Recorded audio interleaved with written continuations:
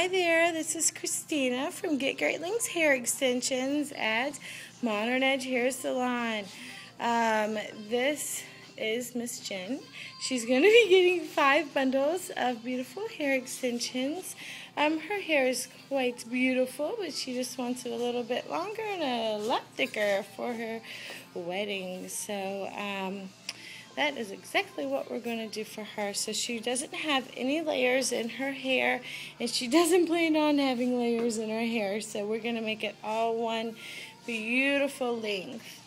All right, guys, we will see you at the end. Bye.